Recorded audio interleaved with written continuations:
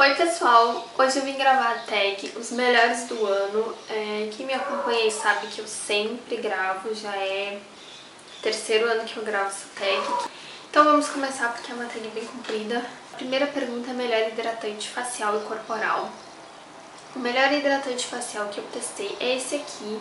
E eu tô usando ele, acho que tem cerca de uns 15, 20 dias, que é o Ultra Light da Neutrogena. É, a minha pele voltou a ficar super oleosa, então eu tive que comprar produtos novos, o que eu tinha em casa não estava dando certo, estava deixando mais oleoso.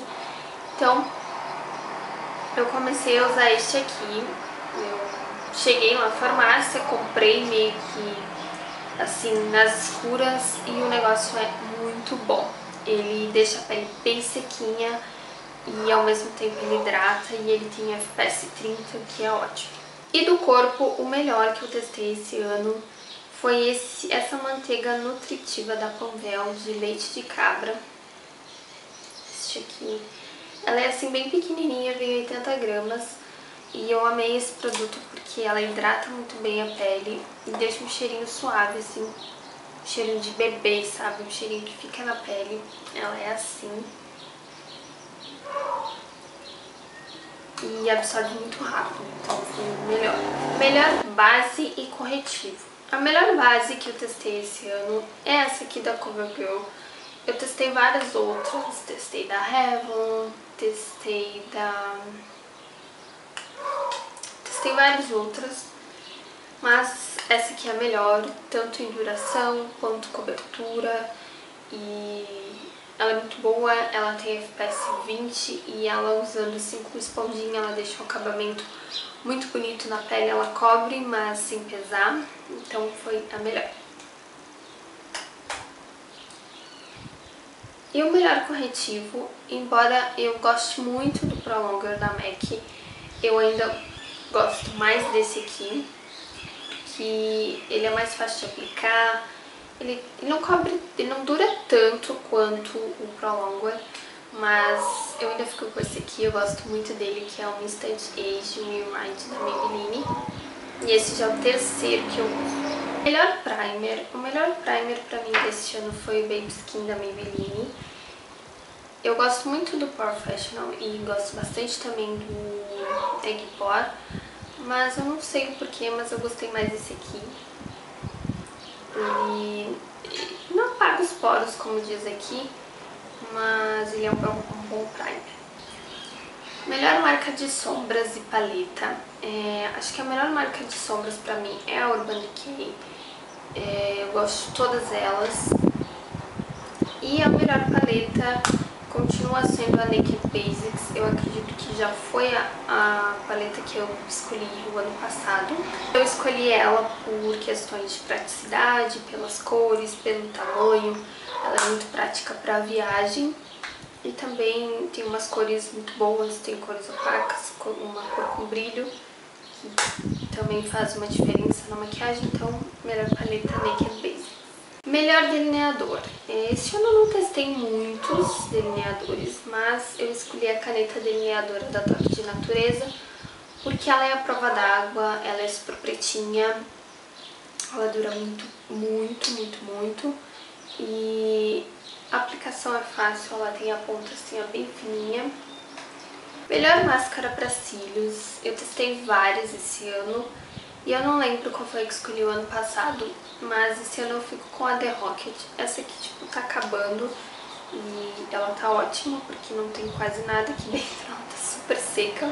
Mas ela é muito boa, ela tem um, um aplicador muito bom de silicone, que na verdade são os meus aplicadores preferidos. E ela já vem assim mais sequinha desde quando você abre, ela não é tão líquida, então é minha preferida.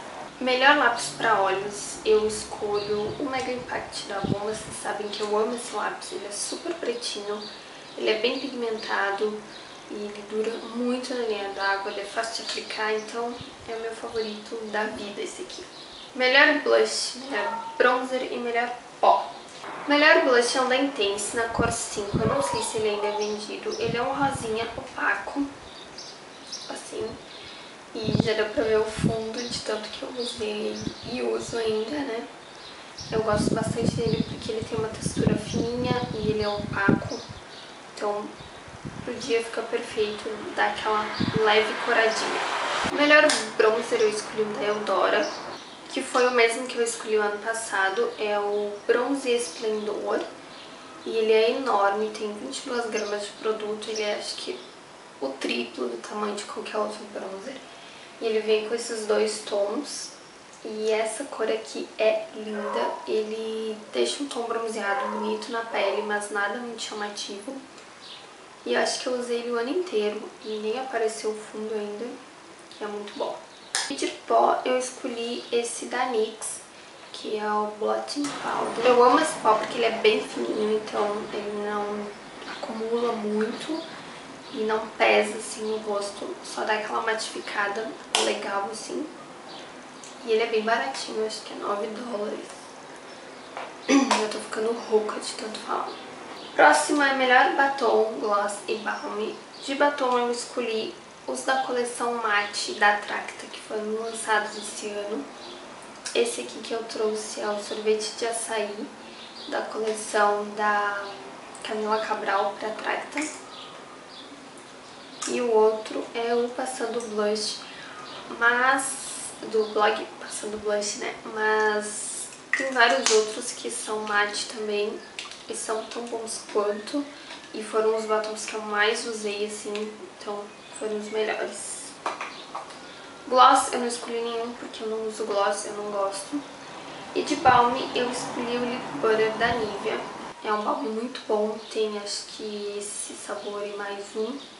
Acho que é de macadâmia e baunilha. E ele é muito bom, ele hidrata muito os lábios, deixa bem hidratado. Então é o melhor que eu testei. Melhor produto para cabelo. Vocês sabem que eu testo muita coisa. E dois produtos que eu vou mencionar aqui eu não tenho mais, que é a linha Brilho Mais Vitaminas da Biscaia, que é um, um shampoozinho bem rosa, assim. Eu amei aquele shampoo.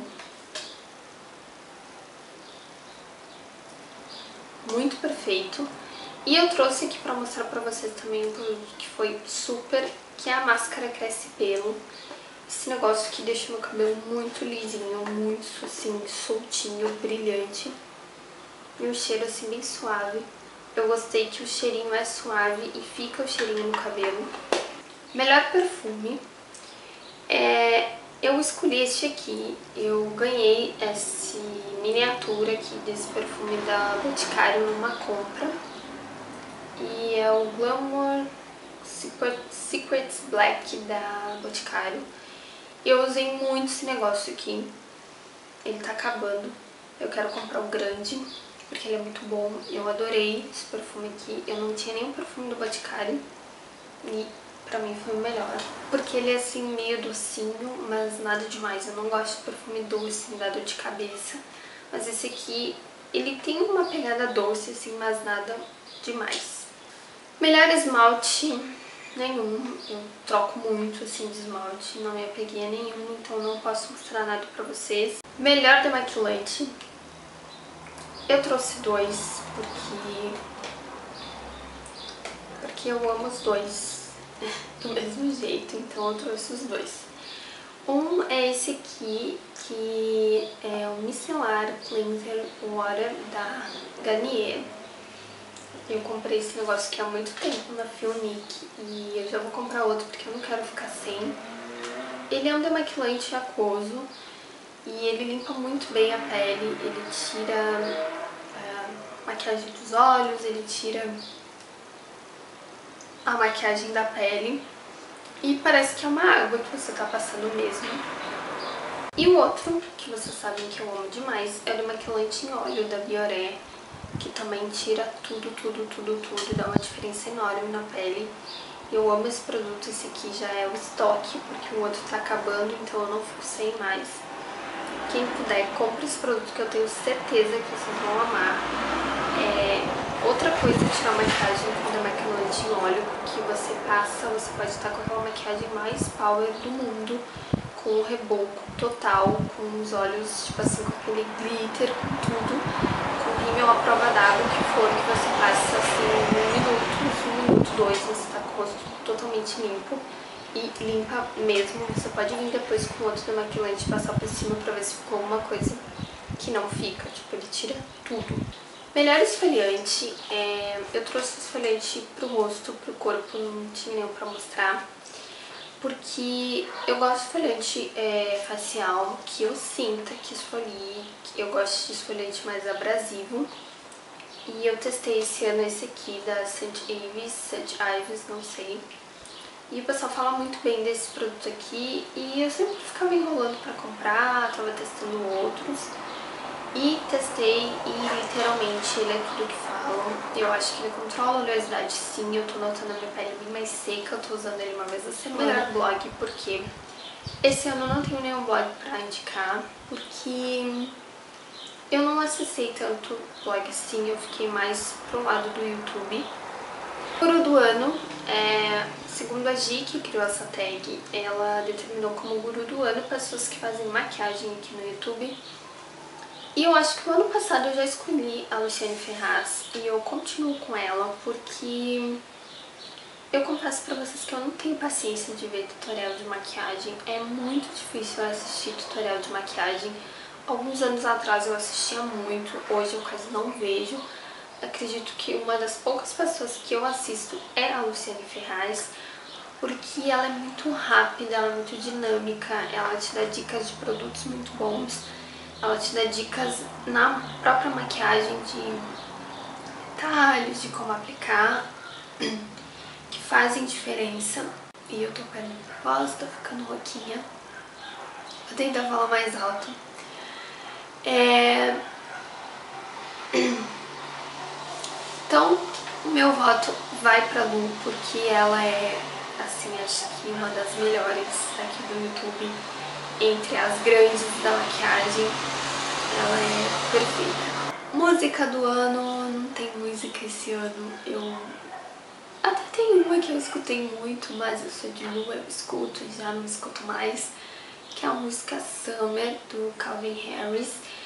É, eu sou mais das músicas eletrônicas, popzinho, gosto muito, gosto muito também do Coldplay. Acontecimento do ano, eu acho que o acontecimento do ano que nós não planejávamos assim para tão cedo foi a mudança de casa, vender a outra, fazer essa. Então nós tínhamos esse planejamento, mas não para esse ano. E aconteceu assim muito mais rápido do que a gente esperava, então pra gente o acontecimento do ano foi esse sonho de mudar de casa. Arrependimento do ano, acho que se fosse pra dizer assim, de eu ter me arrependido de algo, foi de não ter trabalhado mais no canal para que ele crescesse mais, porque algumas coisas acontecem porque eu também não me dediquei tanto, mas no geral acho que tirando isso, acho que não me arrependi de nada. E a última é a frase do ano também, sem frases, acho que não, não tem uma frase que eu tenha lido e tenha me impactado ao ponto de eu lembrar. Então é essa tag, gente, espero que vocês tenham gostado, quem gostou clique em gostei, quem não é inscrito no canal se inscreva, porque eu quero vir com várias coisas legais agora para 2015, já tô com tudo planejado, alguns vídeos um pouco diferentes do que eu sempre faço. Então é isso, lindas. Um beijo e até mais. Tchau!